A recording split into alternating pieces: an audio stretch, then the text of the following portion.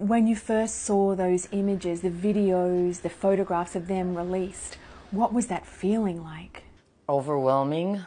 It's disbelief and it's relief at the, at the same time. And it's all the emotions all at once because um, being happy is a privilege that we do not have right now. You have eight family members who are still missing.